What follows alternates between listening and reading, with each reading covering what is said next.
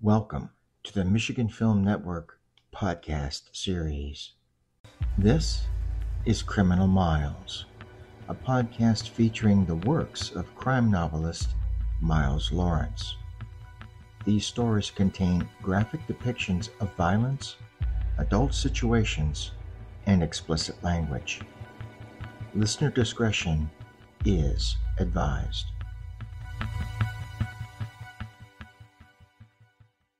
This episode of Criminal Miles was brought to you by the Michigan Film Network, creators and distributors of revenue generating entertainment since 2010. To learn more about opportunities with the Michigan Film Network, visit them at mifn.net.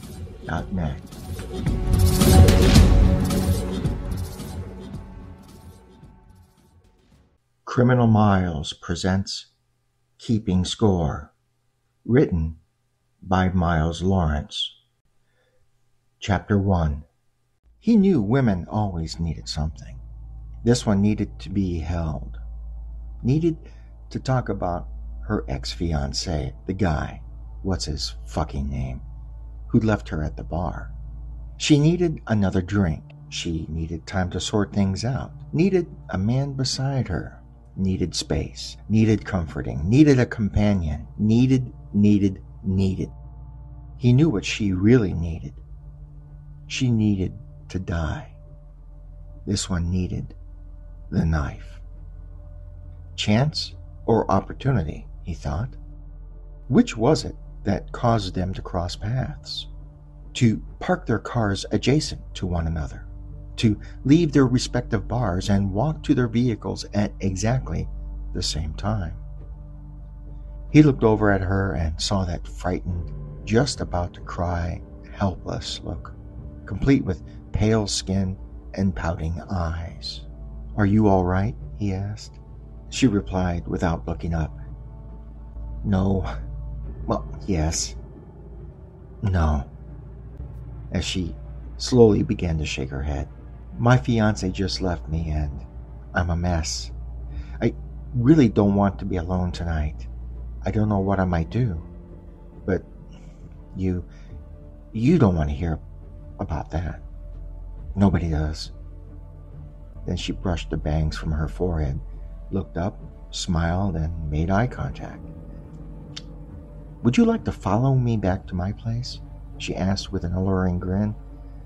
And there it was chance, or opportunity. But that was over an hour ago. Ellen, she introduced herself as she extended her hand just before ushering him inside. Since then, she hadn't shut up once, constantly switching from one emotion to the next, jumping from one subject to another, all about her or how what's his face screwed up and cost himself the best thing he'd ever possibly get. Her, her problems, her needs. Oh, please get me a drink. Her worries. Pour yourself one too. Her life. Oh, not too much ice, please. Her stress. Oh, can you please slice me a lime? Back to the knife. The only thing that would ultimately shut this domineering bitch up. Even though he was enjoying the build-up and having fun toying with this bitch, the way a cat plays with a mouse, still he wondered just how much more of this shit could he take.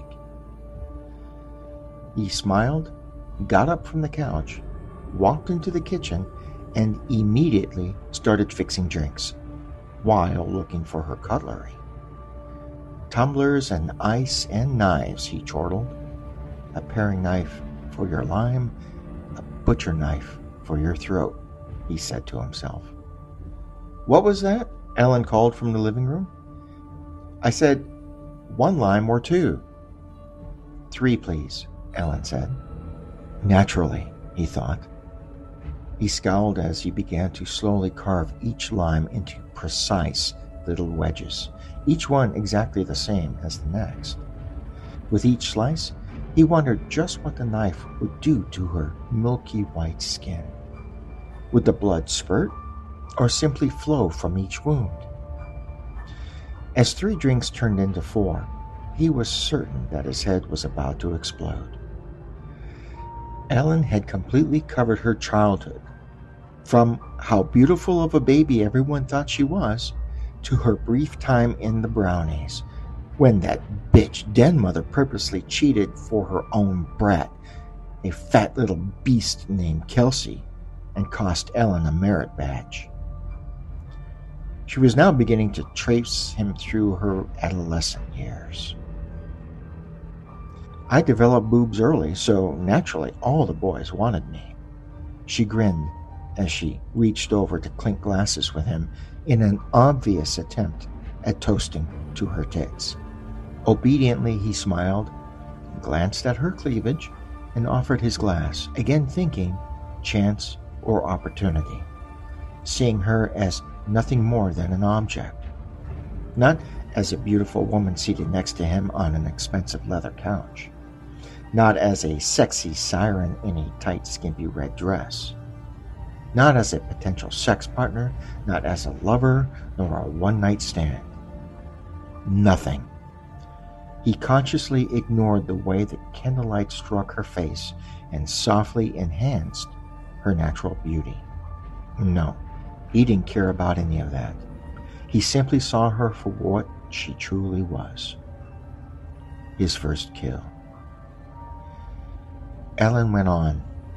In high school, someone started a rumor about her and her math teacher, and how everyone talked about it, and how all the girls hated her. Probably jealous, because they all wanted him, and, if truth be known, he probably did want to sleep with me, Ellen said, adding that she wasn't entirely sure that he didn't start the rumor himself, just to see if it'd get him into her pants. Before Ellen began with college, she excused herself to pee and sent him into the kitchen for more of those delicious little drinks. Now seated, situated with a fresh drink and an empty bladder, Ellen began to speak about her days at good old Michigan State University and how during her sophomore year, before she pledged Kappa Kappa, she dated one of her professors. English Lit, she offered, not for the grade, just to see what it felt like to date an older guy. Again, she smiled, placed her hand to the side of her face, and leaned in close as if to tell him a secret. Boring, she mouthed in reference to her time with the professor. When she leaned close, again he said to himself, chance or opportunity and he wished he'd brought the knife with him from the kitchen. He envisioned slicing her throat as she leaned forward to tell her dirty little grinning secret and smiled. Ellen mistook the smile as being related to her story. She playfully smacked his knee. Come on, she said. Don't tell me you never slept with an older woman. But she never waited for the answer. That would have been something about him and there was no time for that, especially when Ellen had so much more to say about herself, her needs, her opportunities, her chances. Casually, he continued to sit back, sip at his drink, and await his chance, his opportunity. Ellen continued, and then I met. Ugh, I'm too mad at him to even say his name, to honor his existence. You know what? From now on, I'm simply going to refer to him as What's His Name? Ellen went on. He's lucky I even gave him a second glance that day he came to my office to quote on re engineering some doodad, she said with a dismissive flip of her hand. Then how he grinned at me like a lost puppy and kept making up excuses, reasons for coming back, and always finding time to speak with me. He pressed so hard, I finally felt sorry for him and agreed to lunch. And, well, the rest is, how they say, history. She said and paused for a drink. He finally thought she was going to shut up, but, again, she found something else to talk about herself. Anyway, she began, I knew it was time to start thinking about the M word, marriage, she mouthed. and family because my biological clock was ticking, and I said, What the hell? Why not him? He seems like he'll be a good provider. But go figure. Asshole that he was. He screwed that up. Ruined everything. My plan was to be married by 25, a mother by 30. I don't want to be the old hag at the PTA. His face must have registered something other than total amazement with her stories because Ellen finally realized that she might be losing this one.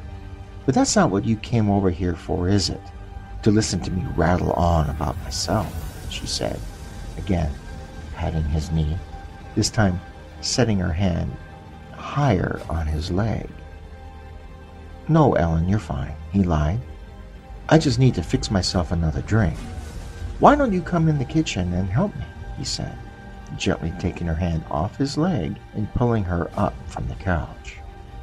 By the time they reached the kitchen, Ellen was back at another topic and again, somehow, related to her. What about us? Wouldn't it be great if we worked out and you took what's his name's place and we got married? She asked as she turned away from him, placed her hands on the counter, looked out the window and sighed. Now he finally had his decision chance and opportunity. Casually, he palmed the knife he previously selected just for her. Ellen went on. Wouldn't that be great? We get married, get a house in some ritzy neighborhood, have three kids and a dog a boy, Trevor, and two girls, Natalie and Jessica. She smiled. What do you think, hon? That sound like something you'd want? Opportunity, he said, smiling to himself as he walked up and stood behind her, gently placing a hand around her waist. What I want? What I really want, he whispered as he leaned close to her and softly kissed her neck. What I really want is for you to shut the fuck up, he said as he brought the kitchen knife up and ripped it across her throat, watching blood spurt out across the windows, wall, and counter.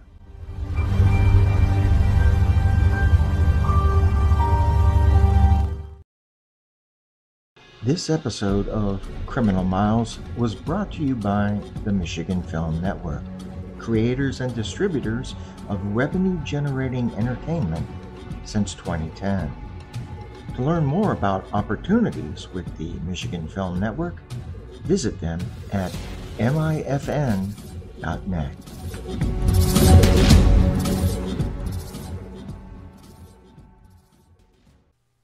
Chapter 2 Steve Shevsky turned the key to unlock the metal security door to his apartment, entered the room, stumbled, then winced as he tossed his keys towards the kitchen table. They missed and landed on the dingy tile floor as yet another night of binge drinking ended with him cloudy and unable to focus. He paused, allowed his eyes to adjust to the dim lighting, and looked around at the one bedroom apartment that he has inhabited since the separation. The kitchen was a mess. An empty pizza box sat in the sink along with four dirty glasses, all plastic. Paper plates, his only dishes, were scattered on the counter, some used, some not. Six empty beer cans decorated the table, last night's supply. Steve headed for the refrigerator, an old 1960s style green one with one door and an icebox on the top that looked and acted like a styrofoam cooler. He lived in the apartment for six months and has yet to clean it. Steve owns practically nothing and feels he needs even less. Throwing out the empty fast food boxes and discarding the paper plates clears the kitchen. Dishes were done only when he couldn't find a clean glass to drink from. The stove has been used a grand total of three times since he took up residence. All three times, his girlfriend had cooked for him. And now, Steve had just ended that. He ended the relationship for good. No more sex, no more home cooked meals, no more talking late into the night about his day. No more nothing. Tony had gotten too close. She had asked for too much too soon. She wanted a commitment from him, and Steve knew that he wasn't over his wife yet. He knew that he would never be able to put Stacy and their daughter out of his mind. Sure, the sex with Tony was great, the gymnastic, hungry sex of two lonely souls, but Tony wanted more. She wanted a true relationship. He wasn't ready for that. Steve Shevsky, Sergeant, Detroit Police homicide investigator, still longed to be with his ex wife and daughter.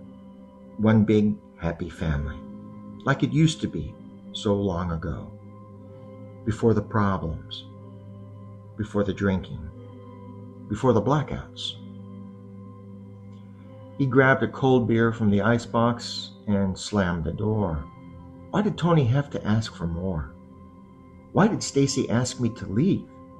He asked as he cracked open the bottle and took a long drink. I still love her, and I know deep down inside she still loves me. He staggered into the living room and grabbed the remote to turn on the television, then slowly ambled across the room and dropped in his old worn out black leather easy chair. Its handle is busted and the recliner no longer reclines, but to him, it's more than he needs or deserves. Steve, the black leather chair, and the television are all that sit in the living room.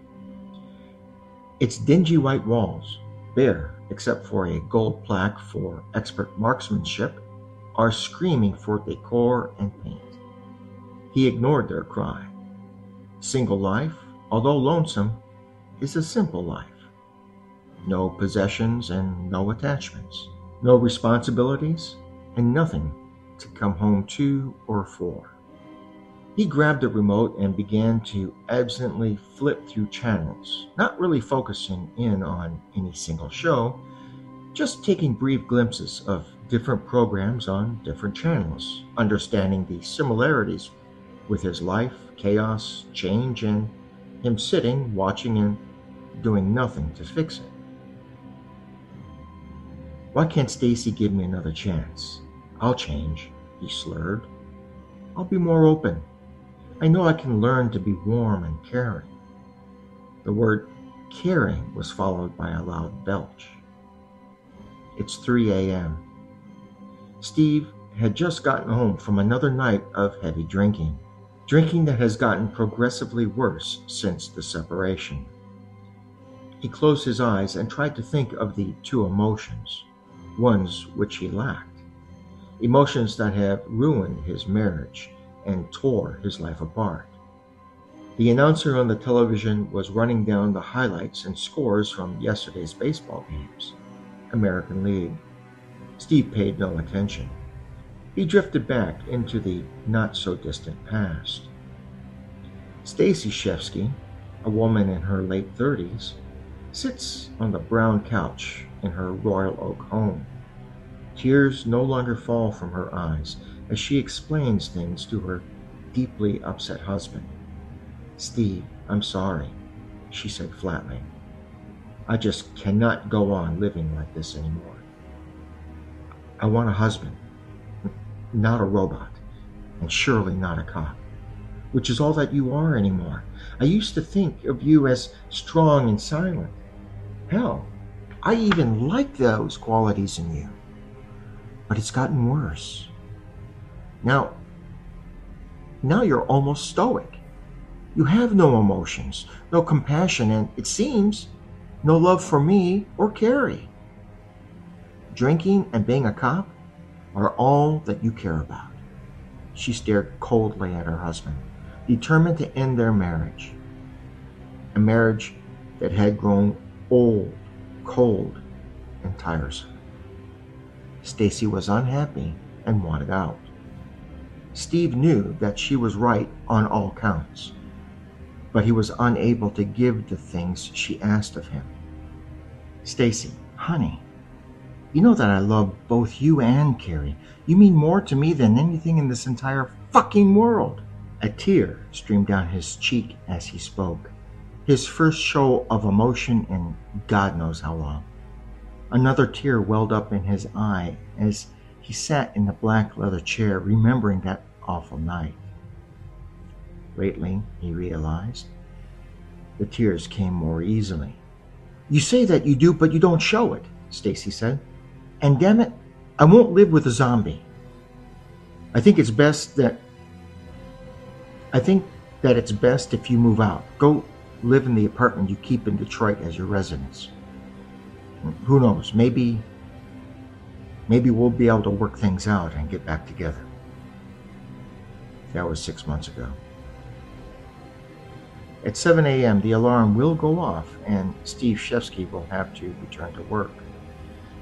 He will have to transform himself from the sad, drunken loner back into Sergeant Shevsky, police officer, for yet another day. But that's hours away. Steve took a pull from the cold brown bottle. Why did Tony have to ask for more? he mumbled. I know that breaking up was the right thing to do, he said before pausing for another swallow of beer. Why did Stacy file for divorce? He received the papers yesterday, read them, and threw them across the room onto the floor where they still lay. I know that I could change. Another drink. Damn, this beer is cold. How many do I have left? Two hours later, the sharp ringing of a telephone jarred Steve from his stupor.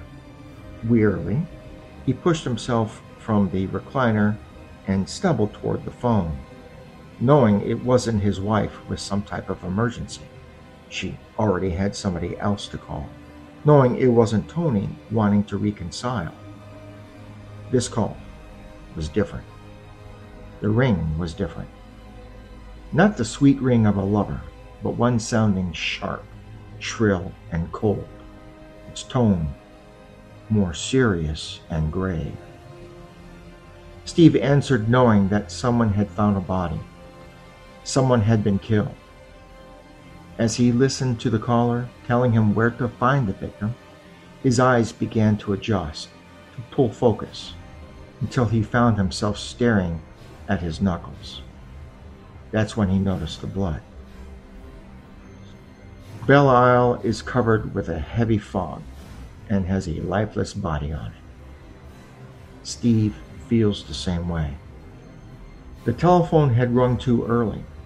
He didn't get enough sleep, too much alcohol, and not enough recovery time.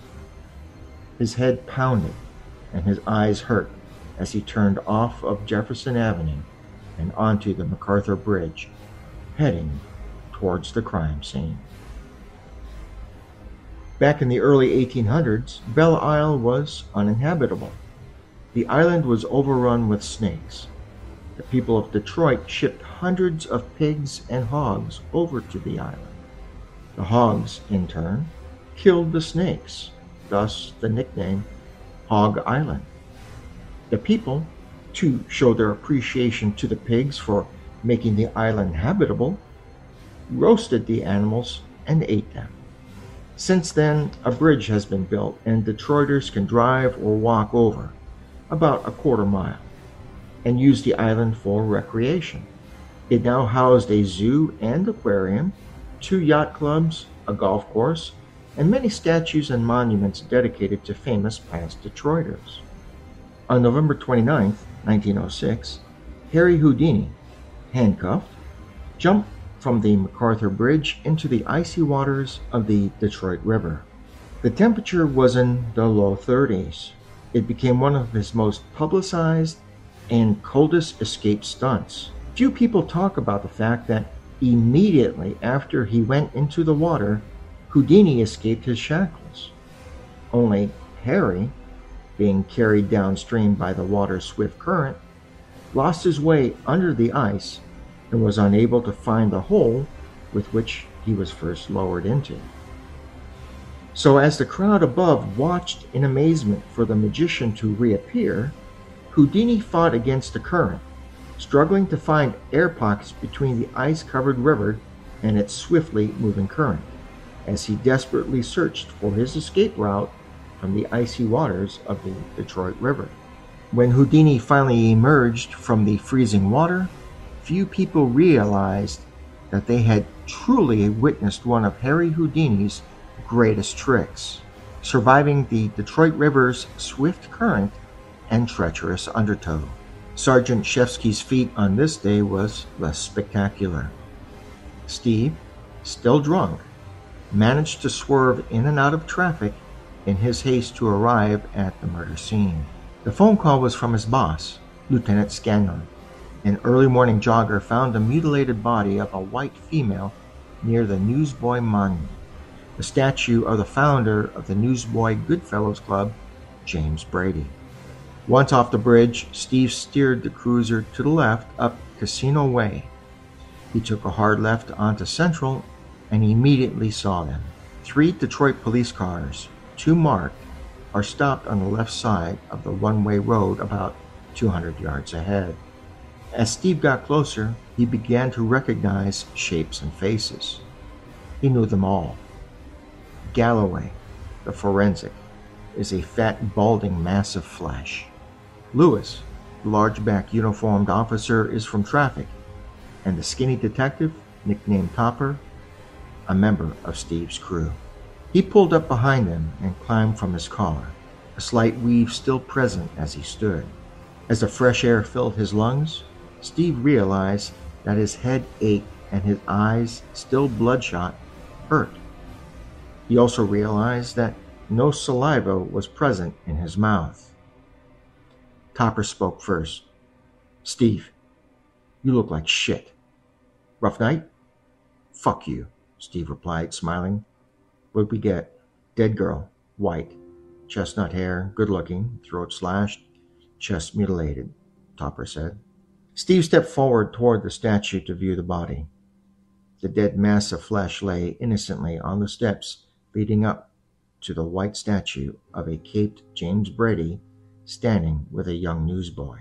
The mass of flesh was clad in a red dress. Her upper torso was bare and torn to shreds. Should be easy to ID, Galloway commented. Her face and prints are intact. Good, remarked Steve. I want to know who she is, when she died, and who she was with on her last day breathing oxygen. Galloway nodded and returned to his work, checking the body carefully for evidence. Steve blurted instructions to the uniformed officer and Topper, then climbed back into his car. I'll be at the mini station, he said. Get with me when you wrap up the preliminaries. As he pulled away, it dawned on him. This is not the murder scene, only the dump site. No blood surrounded the murdered girl. She had to have been killed elsewhere and dumped at the foot of the statue. He drove to the mini station on Belle Isle, which is strangely only a quarter mile from the monument.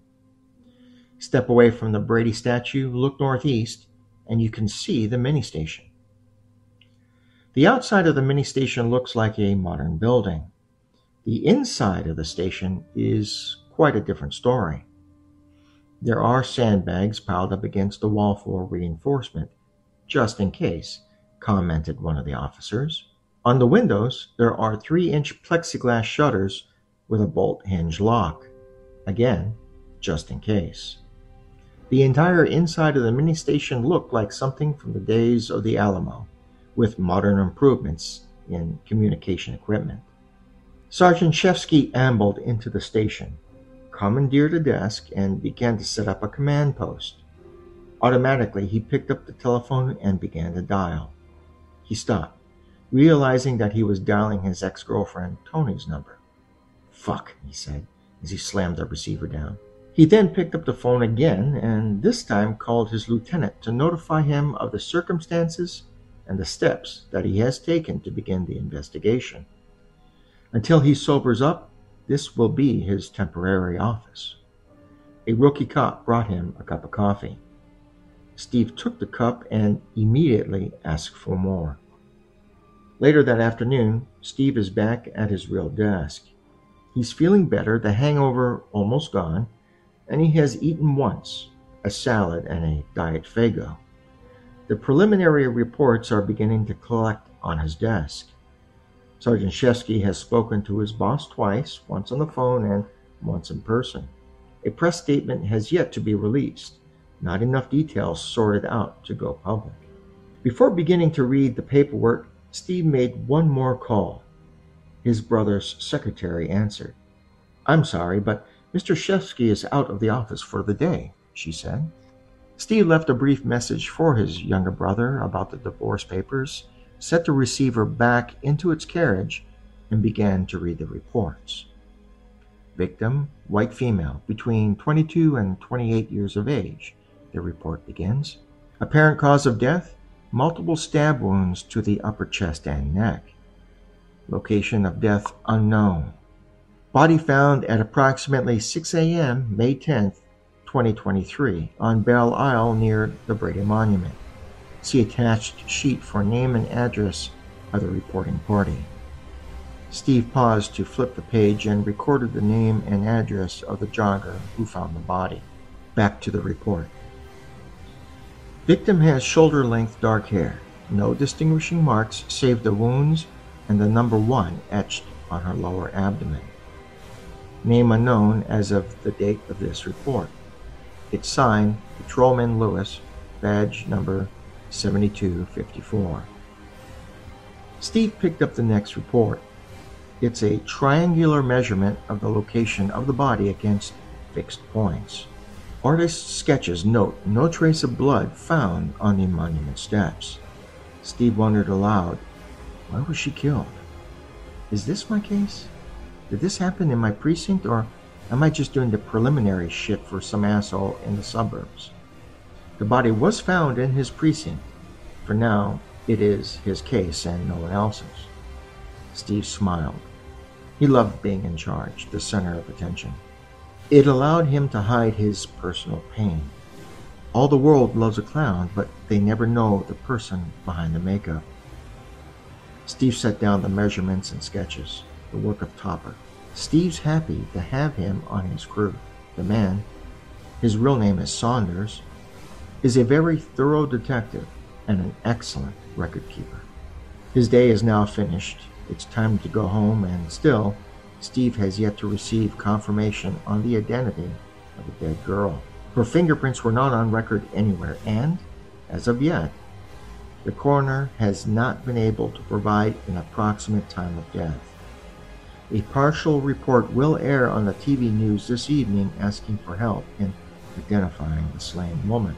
There is always tomorrow, Steve said as he set the paperwork down and headed downstairs to the gym. A good hard workout is exactly what Steve's body required. Weights and a good sweat are his own prescription for a hangover. Also, since the separation, Steve had become conscious of his appearance. Six months of separation have dropped four inches from his waistline and added one and a half inches of muscle to his biceps and upper arms. Steve found himself alone in the weight room. No free weights today. All of his work will have to be done on the precinct's old universal machine, an ancient relic of weights, pulleys, and levers. Today's workout involved chest and triceps. Yesterday's was biceps and back, and tomorrow is scheduled for legs. The workout, although brief, was intense. Sergeant Shevsky finished up on the dip bar. His gray academy shirt soaked and darkened by sweat clings to his body. True definition of the chest can only be obtained on the dip bar, he commented as he finished his routine by removing the shirt and posing in the room's only mirror. An hour later, Steve sits, tense, toned, and tired, on a gray chair in front of his locker. The time is 6:30 p.m. He has just enough time to shower before meeting his brother at the shanty, an Irish pub on the edge of Greektown. The writing on the gray t-shirt he pulls from his gym bag reads, Detroit Homicide. Our day begins when yours ends. How fucking true, Steve said aloud to no one. 9.30 in the evening. Jim Peterson's workday went slowly. He hadn't heard from his girlfriend since their argument last night at the bar. He was an asshole. She called off the engagement, and he left her alone at the bar and walked out. Today, he's sorry. She hasn't returned any of his phone calls. He turned the key to her apartment door. She had given him a key months ago when he proposed. Now Jim, intent on apologizing and rekindling the relationship and the upcoming nuptials, is happy she trusted him with a key to her apartment, her privacy, and her belongings. Ellen, he called out softly as he stepped inside the quiet space. A stereo, her stereo, their stereo, softly plays in the background. No answer to his call. He began to look around the tiny apartment for his mate. Without turning on the lights, Jim looked in the kitchen and found nothing except a bottle of gin on the counter. He picked it up, replaced the cap, and put it back in the cupboard. She must not be home, he commented sadly. Probably at Debbie's. He decided to take one last look around before leaving, to see if she came home, changed, and left again, or stayed the night at her sister's. He looked in the bedroom and bathroom, again found no sign of his girlfriend, and casually padded back over to the kitchen, intent on leaving her a note. As one hand reached to pull open a junk drawer and search for paper, the other flipped on the light switch. Jim slipped and went down hard as the light illuminated the room. His elbows and head hurt. They absorbed the shock of hitting the floor. Jim lies on the floor staring at the white walls and mauve wallpaper. They were covered with thick, dried blood. He looked further and saw the red liquid everywhere in the tiny room. The blood trail ended where the drag marks stopped. Jim Peterson vomited and passed out. This episode of Criminal Miles was brought to you by the Michigan Film Network, creators and distributors of revenue generating entertainment since 2010. To learn more about opportunities with the Michigan Film Network, visit them at mifn.net.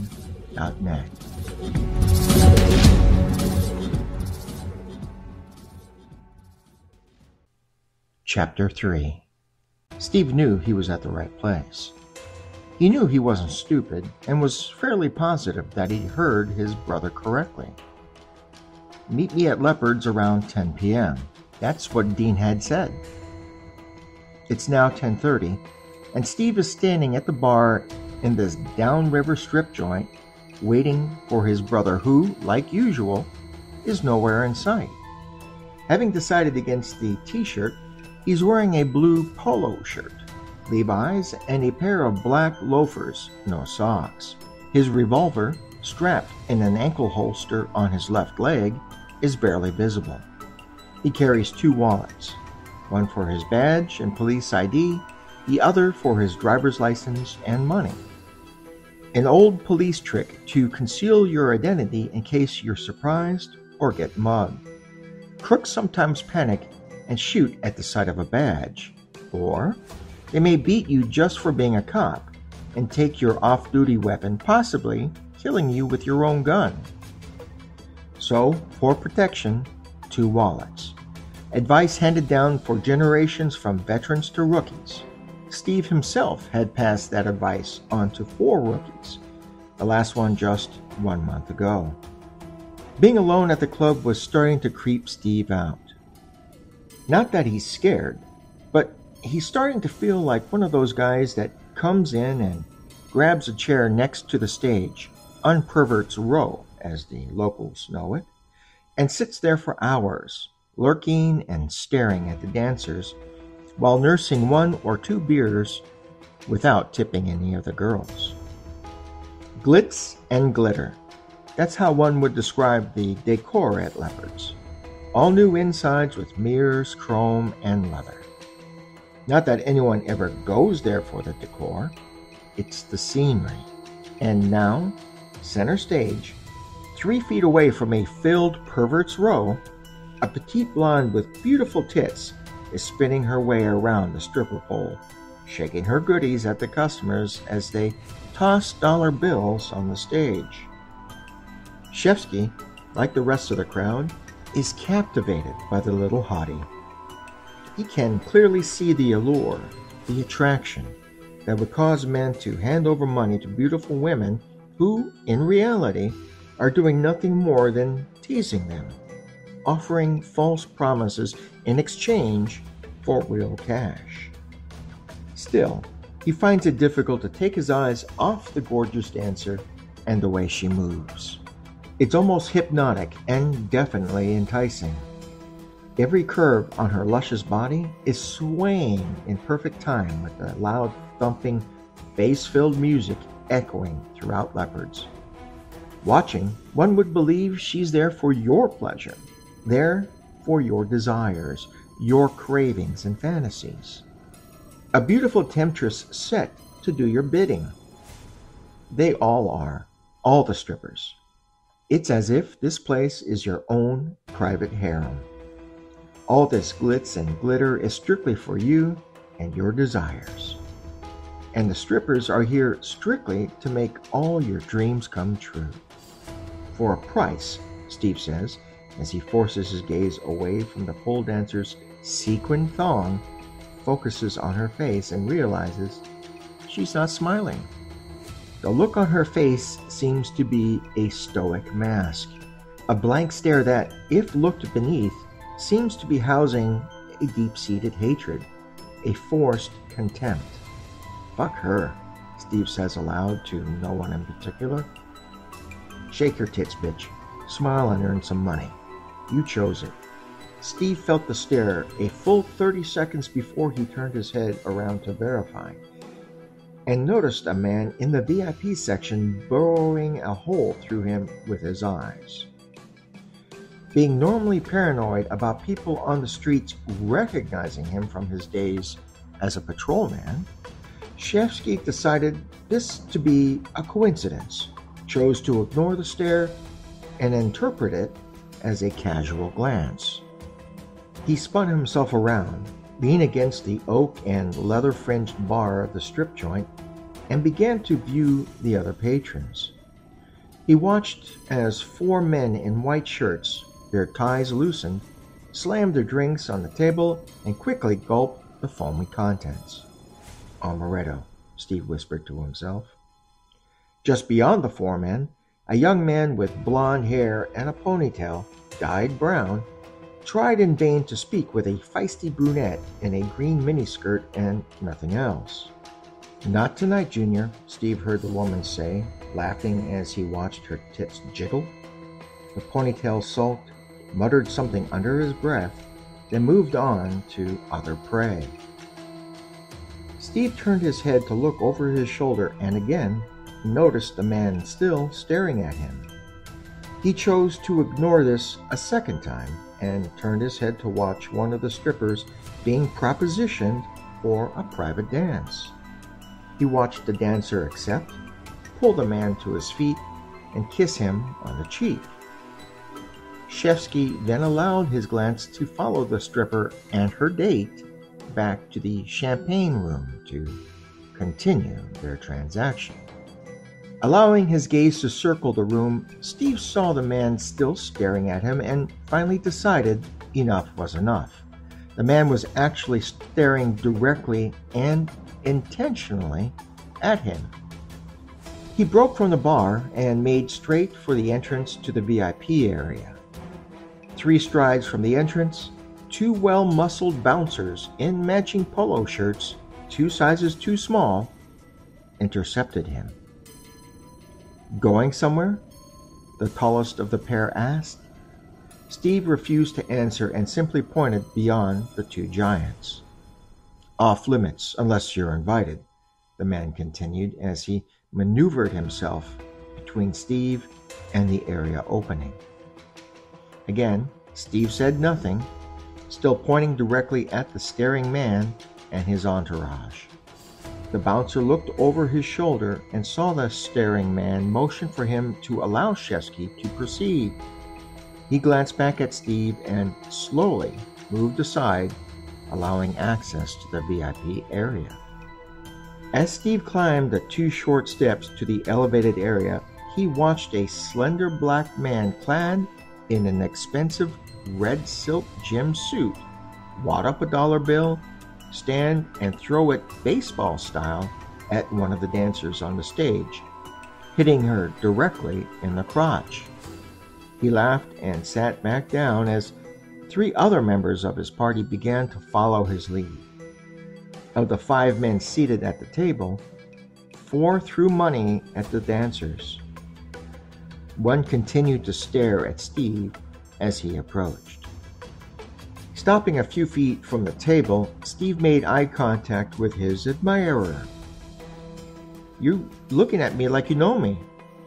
His watcher smiled and said nothing as the others in his party ignored their new guest and continued to fire money at the strippers.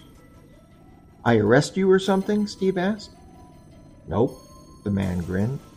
You taught me how to shoot in the academy. Thornton? Johnny Thornton? Steve asked, searching his brain for the recruit's name. Steve now knew exactly where he recognized this one from.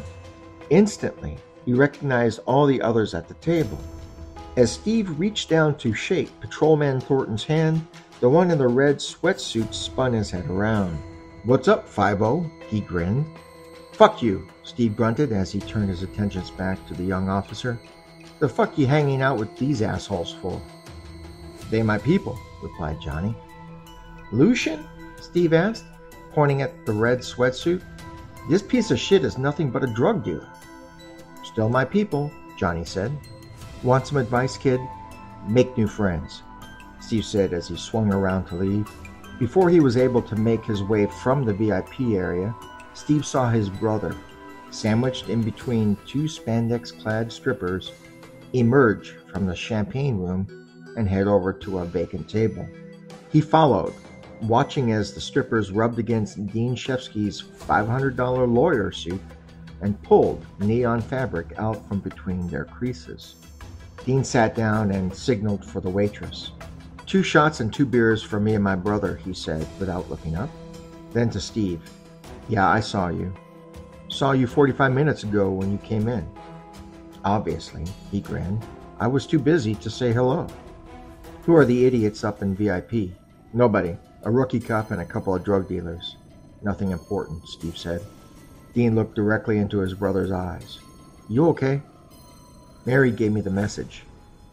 What a bitch. Not today, okay? Let's talk about something else. How are you? Shit day. In and out of court all morning, Dean said, as the waitress brought back their order and told Dean the drinks were on the house. A young stripper in a tight yellow spandex dress approached and tried to speak with Dean. He brushed her off politely. Later, babe, I want to speak with my brother for a few, he said as he kissed his finger and touched it to her lips. She went away happy, hoping that later will lead into morning. Damn, Dean! Couldn't you have kept her here a little longer? I didn't even get a good tit shot. Dean laughed. You never change, do you? Already back on the horse. They clink glasses and down the shots. Business as usual. Steve is now 40 years old. As far back as he can remember, his younger brother has been with him. When Steve was 12 and just beginning to notice girls, his six year old brother was tagging along close behind. They remained close throughout the years, and thus Dean grew up six years ahead of his peers. He started to like girls way ahead of his classmates. When puberty arrived and his good looks developed, he found himself light years ahead of all his friends. He's managed to stay ahead of the crowd ever since. When Steve married Stacy, the brothers stopped being inseparable. For Steve, there was a wife and a baby girl, Carrie.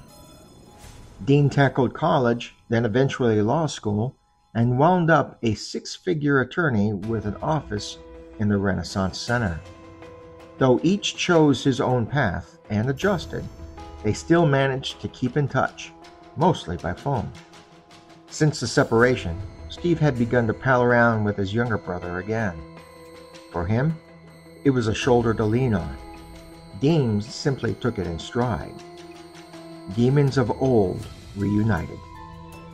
Dean is very happy to be hanging out with his older brother once again, but this time, things are noticeably different.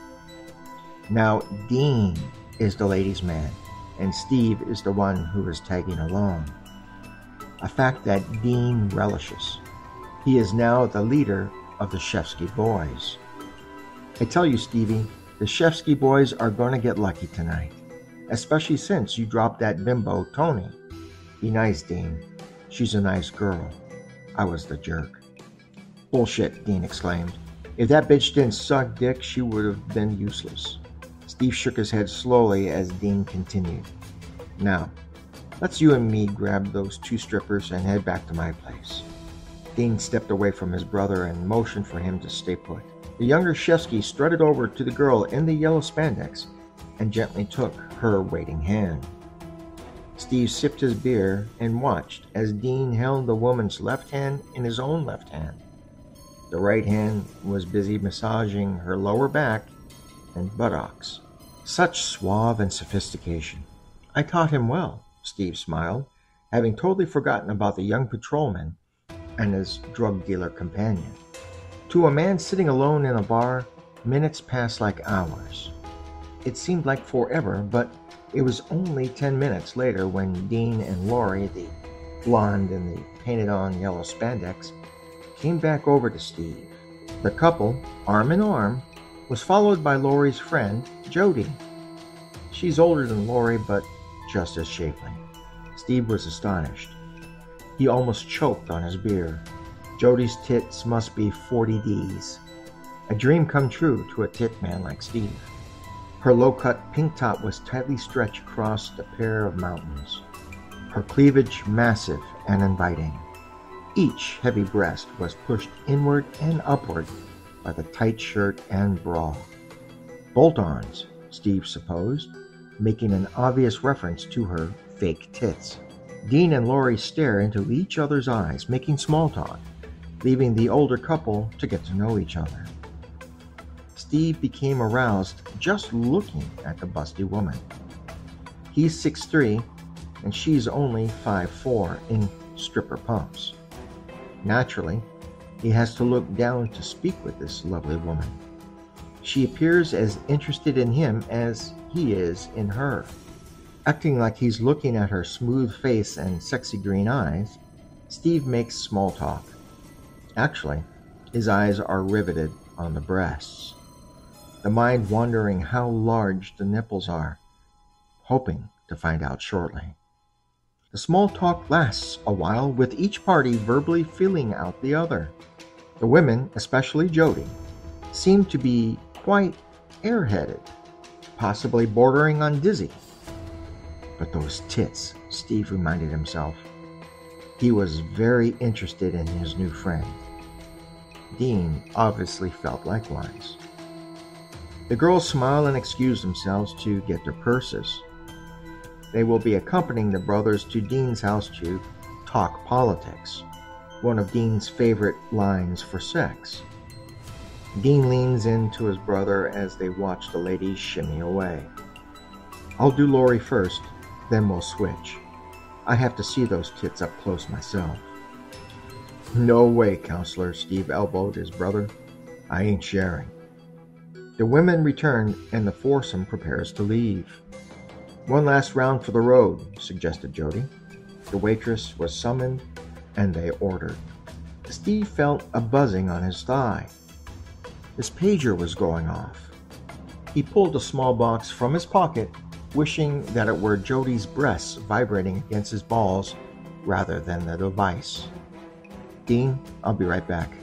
I gotta step outside and call the station, he said, holding up the pager. No problem. I'll hold down the fort, big brother, he said, winking at Steve. Steve Shevsky left pissed and alone. Work called. The murder victim now had a name Ellen something. The murder scene appeared to be her apartment one of the new condos near the stadiums. It's located in his precinct. Steve's team was now officially on the case. He must go to the scene and coordinate the investigation. His crew is already there, and questions will have to be answered, people will have to be spoken to, and a plan of action will have to be devised. To Sergeant Shevsky, none of that matters right now. He's pissed. Pissed and horny. He's alone and heading to work while Dean has two strippers accompanying him back to his house in Livonia to talk politics. No need to switch, Steve said. Dean will see those titties tonight for damn sure. He slammed his fist on the dashboard. Steve walks up the stairs, running his hands through his short, light brown hair. A hint of alcohol is still on his breath. He puts his palm to his face and blows. Now, feeling confident enough to go to work, he takes his shield and clips it to the waistband of his jeans. The front door to Ellen's apartment is open. He steps in. His detectives are hard at work. The boys from forensics are also busy, gathering blood samples from the kitchen. White powder is scattered throughout the apartment as the techs dust and check for latent prints. Two of Steve's crew, Topper and a short barrel chested Italian named Vinoli, have Jim Peterson seated in the kitchen. Peterson's hair is mussed up and his eyes are swollen from crying. Dried vomit covers the front of his shirt. Topper's long, delicate fingers are wrapped around a pencil. He's busy scribbling in a notebook as Jim Peterson utters incoherently. A short, fat, buck-toothed cop named Stan Walker waddles up to Steve. Hey, Sarge, what we got? Steve asked while staring at Topper and Joe Vinoli, half interested in keeping the smell of booze from going directly into Stan's face.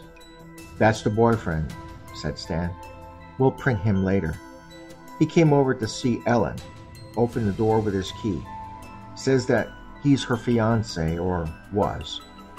Anyway, he looks all over the apartment for her, then walks in the kitchen and flips the light on. Kid pukes. The rest you can guess. What does it look like? asked Steve. Like someone squirted ketchup all over the walls, said Stan. Techs are almost done if you want the $3 tour. Thanks, maybe later. What's the dead girl's name? asked Steve. Super IDs the tenant as Ellen Adams, 25, pretty with shoulder length black hair, nice legs. Picture in the bedroom looks exactly like the victim. Topper and Joe are trying to talk the boyfriend into coming to the morgue for a positive, said Stan. Okay, good. Topper and Vinoli know what to do. Leave them with the boyfriend. You stay with forensics. I want to know if they get any usable prints. I want this nutcase soon. That number etched on her abdomen worries me. We have to get him before he starts counting. Steve turned and walked towards the bedroom. He stopped and yelled over his shoulder. Stan, get some uniforms to knock on doors. I want all the tenants interviewed. Someone had to have seen or heard something. Steve opened the door and entered his apartment. It's 3:15 a.m., the end of a long day. He's exhausted. He stares at the shabby apartment. 20 years ago, he rented the place as a mailing address, a crash pad. So that he could work for the department. Damn residency law, he remembered saying. Now he was glad that he rented it. If he hadn't, he would have been homeless when Stacy asked him to leave. This shitty dump, Steve Shevsky now bitterly refers to as home. The red light on his recorder was blinking. Someone called. The machine irritated him. He hated recording the message on it. Stupid, talking into a machine so other people I don't even want to speak with can leave me a message. Interrupt and invade my privacy, Steve thought. Still, he kept the machine. It served a purpose. It was his screening device. Now he doesn't have to answer the phone and can still hear the important messages. This message is from Tony, the redhead ex girlfriend. She wants to try again. Sorry, Steve. No more talk of commitment. He clicked the recorder off before the message finished playing. Steve then stormed over to the refrigerator and grabbed a beer, hoping to keep his emotions in check and avoid another blackout. The TV is on. His expression is stoic. He's alone with his thoughts. No Jody with the tits, no Stacy and their daughter, and no desire to get back with Tony. Steve closes his eyes to erase the tension and shield himself from the creeping depression. Memories of sex with Tony begin to surface. To Steve, dreams, whatever they are, are better than no memories at all. It all began about a month after Steve and Stacy separated. Feeling sad and alone, Steve began hanging out in bars, drinking to excess and blacking out, almost a habit at this point. The blackouts came about twice a week. A quick trip down the lonely but frequently traveled road of alcohol. One night, Steve was about half in the bag, working on his 10th Stroh's, when this cute little redhead shimmied over and introduced herself. Her name was Tony, and she told Steve of her attraction to tall men with strong hands. He smiled and squeezed the beer can a little tighter, its sides buckling from the pressure. Silly macho shit. It had been years since he had even thought of another woman, much less enjoyed one. Now, here he sat. The alcohol had him relaxed and curious, with a gorgeous redhead, a natural with firm tits, coming on to him. He decided to see it through, test the limits. Small talk led to a provocative, inviting conversation, an offer. The television plays on. Steve dozes and flashbacks of Tony continue. They went back to her house. She then excused herself, closing the bedroom door behind her. Steve, aroused and confident, waited 10 minutes when Tony emerged from behind the door wearing only high heels and a black bra. The red triangle confirmed his guess. Tony was a true redhead. Slowly, she strutted over to him, climbed upon his lap, straddled him, and wrapped her milky white legs around his waist. No words were exchanged, only stares, looks of passion. Steve reached around behind her, unhooked the lace bra, and Tony slowly leaned forward, rolling her shoulders. The bra slid off, revealing firm white breasts with tiny, erect nipples. Pink rosebuds set against a sea of baby's breath flowers.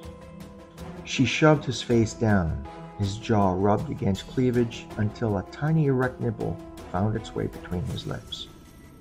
Tony whispered, Bite it. Her voice hoarse, deep, and throaty. Steve bit gently at first. She moaned with pleasure as he increased the pressure. The gymnastics had begun. Arms and legs intertwined. His hairy torso, now exposed, mashed against soft, milky flesh. The struggle was pleasurable. They were now on the bed, making it squeak. The headboard banged steadily against the wall as Steve pushed hard, fast, and deep. Her painted nails dug deeply into his muscular back. A trail of scratches is left as a memory. It hurt at the time, but strangely, he enjoyed the pain. So did Tony. Her orgasm was long, enormous, and joyful. Tony motioned for him to roll over on his back and lie perfectly still. He obliged. She quickly changed positions and took his swollen member into her mouth. At first, just a head, then all of him. His body quivered with pleasure as he stared at her. The red hair, mussed from movement, bobbed up and down. She worked hard. Every inch of him was taken into her mouth. Steve felt a passion as her hand stroked his thigh and scrotum. A wince, his cock pulsed, she relaxed and swallowed all that he could offer. Round one over, the relationship began. Steve's dreams shift. He enjoyed peaceful sleep, REM sleep, dream sleep, hard, erect dream sleep.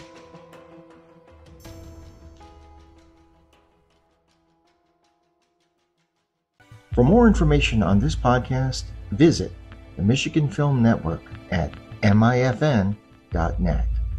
Get your copy of Miles Lawrence's book, Keeping Score, on Amazon today so you can read along with each episode. To order a signed copy of the book or to meet Miles Lawrence at a local bookstore, follow him on Facebook. Please be sure to like, follow, and subscribe to Criminal Miles so you don't miss upcoming episodes. All stories told on this podcast are done so with the written consent from the author, Miles Lawrence. No portion of this podcast may be rebroadcast or otherwise distributed without the expressed written consent of the Criminal Miles production team and the author, Miles Lawrence. Criminal Miles is part of the Michigan Film Network podcast series. This episode of Criminal Miles was recorded in the basement of the Michigan Film Network.